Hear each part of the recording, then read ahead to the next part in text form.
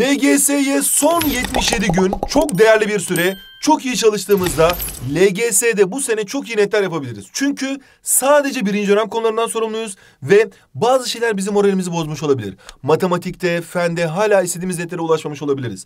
Hala paragrafta hatalarımız çıkıyor olabilir. Bunlar bizim çalışma azmimizi azaltmamalı. Eğer netlerimiz iyiyse çalışmaya devam etmeliyiz. Eğer netlerimiz normalse yani çok şükürse çalışmaya devam etmeliyiz. Eğer netlerimiz istediğimiz gibi değilse, kötüyse yine çalışmaya devam etmeliyiz. Çünkü bizim vazifemiz bu ve inşallah LGS LGS'ye girdiğimizde 4 Haziran'da bu vazifemizin karşılığını alacağız arkadaşlar.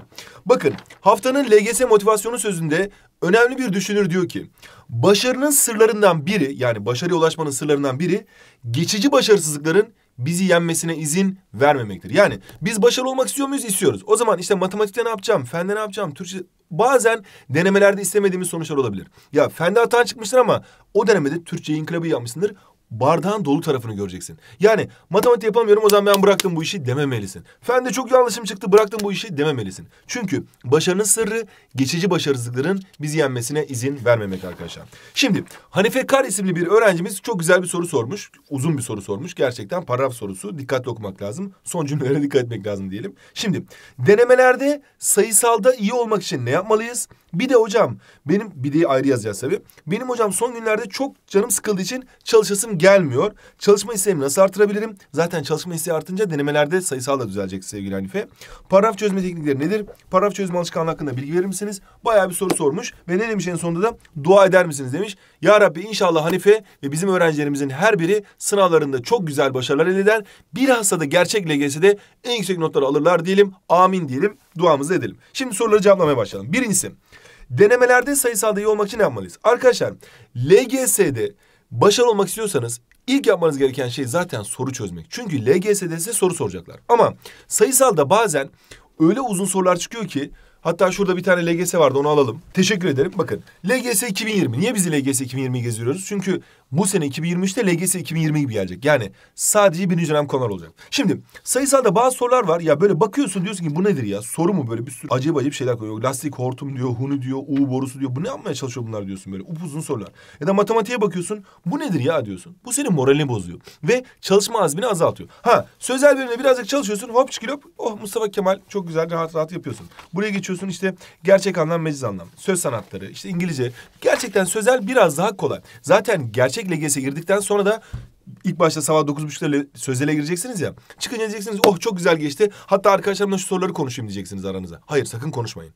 Arada dinleneceksiniz. Çünkü iyi yaptığınız düşündüğünüz bir soru olacak. Cevapları arkadaşlarınızla konuştuğunuzda moraliniz bozulabilir. O yüzden onlara hiç girmeyin. Neyse. Sözel güzel geçecek zaten inşallah iyi çalıştığımızda. Ama sayısalda şu anda birçok öğrenci tam istediği randımanı alamamış olabilir. Bunu yapmanın yolu birincisi dediğim gibi soru çözmek. Fakat soru çözerken de adım adım ilerlemeniz gerekiyor. Mesela bizim her zaman gösterdiğimiz kitabımız var. Beş hamlede LGS mat. Burada adım adım ilerletiyoruz. Yani direkt bu sorudan başlatmıyoruz. Birinci hamle, ikinci hamle, üçüncü hamle, dördüncü hamle, sonra beşinci hamlede gerçek bir soruya ulaşıyorsun. Yani bu soru LGS'de gelmeyecek. Ama LGS'de gelebilecek bir soruyu çözmen için önemli bir adım. Veyahut da ikinci adım LGS'de gelmeyecek. LGS böyle bir soru gelmez. Bu kadar kolay soru gelmez. Ama ikinci adımı çözebiliyorsan ardından üçüncü adım, ardından dördüncü adım, sonra beşinci hamlede mükemmel bir şekilde başarı olacaksın. Yani ilk başta küçük küçük ilerleyeceğiz lokma lokma, sonrasında beşinci hamlede gerçek LGS sorusunu çözeceğiz. Çünkü direkt bundan başlayınca olmuyor. Hani böyle sporcular vardır. İlk başta böyle beş kilo kaldırırlar, sonra on kilo, sonra yirmi kilo. Sonra adam artık profesyonel oluyor bir bakarsın yüz, yüz, iki yüz kaldırıyor. Baba ne yapıyorsun sen? Kaldırırım abi ben. Nasıl kaldırıyor? İlk gün öyle mi başladın? Hayır. İlk gün beş beşle başladı. Belki iki iki ile başladı. İşte siz de şu anda sayısalda temelden başlayıp zora giden sorular çözdüğünüzde başarıya ulaşabilirsiniz. Hemen diğer soruna geçiyorum sevgili Hanife çalışma isteğim azal diyor. Şimdi insan çözemediği dersi sevmiyor. Çözemediği zaman, çalışamadığı zaman, iyi yapamadığı zaman da düşüyor. Bence sıkı sıkıya çalıştığında, netlerin arttıkça çalışma isteğine gelecek ve hedefini mutlaka belirlemeli ve telefonun duvarına asmalısın. Yani benim hedefim matematikte 15 yapmak, sallıyorum. Türkçede 20'de 20 yapmak, fende 20'de 19 yapmak. Bu neti karşına asacaksın ve her zaman bunu göreceksin. Benim hedefim bu. Buna ulaşana kadar durmak yok, yola devam edeceğim diyeceksin. Sonra ikinci soruya bakıyoruz. Paragraf çözme teknikleri nedir? Şimdi LGS'de en az ama en az 10 tane paragraf sorusu geliyor. Hatta bizim o yüzden paragraf 10, paragraf 10 gibi soru kitaplarımız var. Bunun haricinde sen LGS'de anlam bilgisini iyi yaparsan yani sözcükte anlamı iyi yaparsan bak çünkü şöyle başlıyor bak sorular sözel bölüm açıyorum. Böyle bir sözel soru, sözcükte anlam sorusu ama böyle paragraf gibi.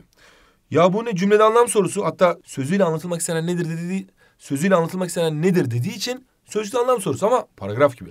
Yani esasında hani tuğlalar duvarları, duvarlar evleri oluşturuyor ya. Sözcükte anlam, cümlede anlamı, cümlede anlam da paragrafta anlamı oluşturuyor. Dolayısıyla senin hem sözcükte anlamı, hem cümlede anlamı, hem de paragrafı bütün olarak çalışman gerekiyor. Bunun için de öğrencilerimize biz yine bol bol soru çözmeyi tavsiye ediyoruz. Kitap okumayı tavsiye ediyoruz ve mesela günde 15 paragraf ve anlam bilgisi kitabımızı tavsiye ediyoruz. Niye? Çünkü burada hem sözcükte anlam soruları var, hem cümlede anlam soruları var hem parça anlam soruları var. Yani ilk başta sözcükte anlamla alakalı paragraf gibi sorular ama bak. Sözcükte anlam sorusu ama böyle mintoş değil. Uzun uzun sorular. Cümlede anlam sorusu ama yine uzun uzun sorular. Yani paragrafa alıştırıyor seni. Sonra da paragraf kitabına geçiyorsun. Yani paragraf kısmına geçince tablo grafikler, sözel mantıklar, görsel yorumlamalar bunların hepsini güzel güzel çözüyorsun. Ardından da bol bol denemeler var. Yani çözmen gereken günde 15 soruyu sana tek tek önce sözcükte anlam, sonra cümlede anlam, sonra parça anlamla veriyor. Hatta burada bak e, bunları tabloda yaptık. Doğru yanlış netlerini yazabileceğin. Bak birinci gün sözcükte anlam, ikinci gün sözcükte anlam. Sonra Dördüncü günden sonra cümlede anlamlar başlıyor. E, Sekizinci günden sonra deyimler, atasözleri başlıyor. Dokuzuncu günden sonra paragraflar başlıyor, yapılar. İşte on altıncı günden sonra görsel yorumlamalar başlıyor. Böylece 33 günde sen mükemmel bir şekilde bitiriyorsun. Zaten LGS 77 gün var. Bir gün çözüp bir gün ara bile versen mükemmel bir şekilde bu kitabı da bitirebilirsin. Şimdi diğer soruya geçiyoruz.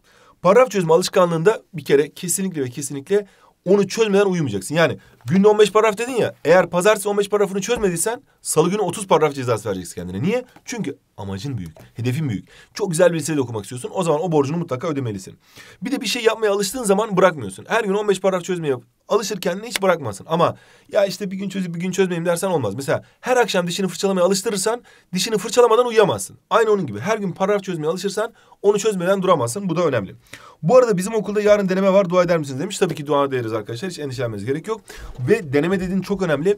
LGS'de başarıyı oluşturacak olan şey de LGS'de bol bol deneme çözmek. Haftanın LGS kaynağımızda bizim hızlanma denemelerimiz sadece birinci dönem konuları 2023 LGS içeriyor. İçerisinde yine 5 ekstra dijital deneme var. Yeni nesil Milliyetin Bakanlığı tarzı sorularında öne geçmeniz için, hızlanmanız için hem detaylı analiz sayfalarımız var. Burada yaptığınız yanlışlara göre analiz ediyoruz. Hem de her biri 2023 LGS'de sizin sınavlarda başarılı olmanızı sağlamak için hazırlanmış özel bir deneme. Yine çok uygun bir fiyatla öğrencilerimize getirdik. Bu denemeleri de çözdüğünüzde ve denemelerden sonra yaptığınız yanlışlara göre elinizdeki diğer kaynaklardan işte son tekrarlardan olabilir, hızlanmalardan olabilir, işte ilk tekrarlardan olabilir. Güzel güzel tekrar ettiğiniz olur. Zaten bu arada biliyorsunuz bizim sadece hızlanma değil, geri sayım denemelerimiz var, ana denemelerimiz var, doz denemelerimiz var. Denemeyle alakalı bütün ihtiyacınızı karşılamaya çalışıyoruz arkadaşlar. Neden? Çünkü LGS bir deneme. Bu arada yazılı kamplarımız da geliyor. Yazılı kamplarımıza yazılarınızı hazırlanmayı unutmayın arkadaşlar. Geçtiğimiz hafta LGS dershanesinde 6 ayrı dersten genel tekrar kampımızı yaptık. 6 ayrı dersten genel tekrar kampı içerisinde canlı ders yayınları yapıldı. Hata denemeleri yapıldı, rehberlik yayınları yapıldı. 749 adet soru çözümü yapıldı geçen hafta LGS dershanesinde. En az bu da. Tabii bazı öğrencilerimiz bunun 2-3 katını çözdüler. Özel etüt programlarında, özel etüt programlarında 6 kişilik gruplar halinde 6 ayrı dersten 29 saat süren özel etütler yapıldı. Öğrencilerimize sohbetler ettik. Onlarla güzel güzel canlı yayınlarımızı, canlı özel derslerimizi yapmış olduk arkadaşlar. Ödülü soru yorumlarınızı bekliyoruz. Bizler hocalarınız olarak, öğretmenleriniz olarak sizlere kapıyı açıyoruz. Ama çalışmalarınızla, gayretlerinizle LGS 2023'ü tarihe gömecek olan, kendi efsanenizi yazacak olan sizlersiniz. Sizlere güveniyoruz. Hadi bakalım arkadaşlar.